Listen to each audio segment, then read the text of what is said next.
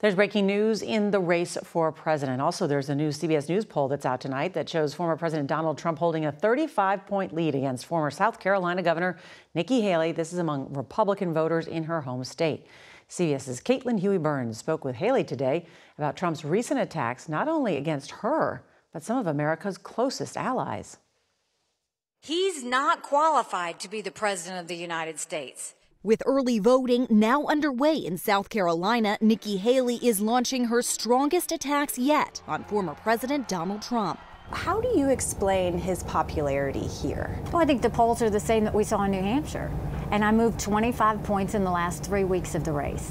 You can look at any poll you want, but the reality is this is when they are starting to pay attention. Are you prepared to take this all the way to the convention? I'm prepared to continue to go Michigan to Super Tuesday. Why don't we let that happen?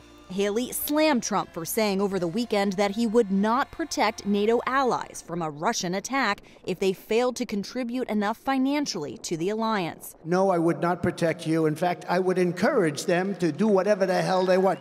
Trump has long criticized NATO, but these remarks drew outrage from the White House and concern from world leaders. I think what was said was not a sensible approach. Though Republican allies on Capitol Hill came to his defense. I've learned a long time ago not to overreact to what President Trump says or what he tweets. Do you take Donald Trump at his word? I absolutely take him at his word. Russia has never invaded a NATO country because Russia is intimidated by that alliance. Why would you go and put that alliance in harm's way? And she called Trump unhinged for mocking her husband, Michael, an officer in the National Guard. Where is he?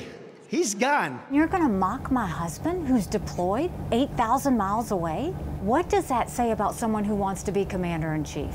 Because as a military spouse, it makes me worry about Michael's safety. As someone who was in national security, it makes me worry about the future for our kids with him starting a war. And tonight, Donald Trump has asked the Supreme Court to pause an appeals court ruling that had rejected his claim of immunity in the January 6 case. Meanwhile, Trump was off the campaign trail today and instead in federal court in Florida for a hearing in the case involving his handling of classified documents. Norah? Caitlin Huey Burns, thank you so much.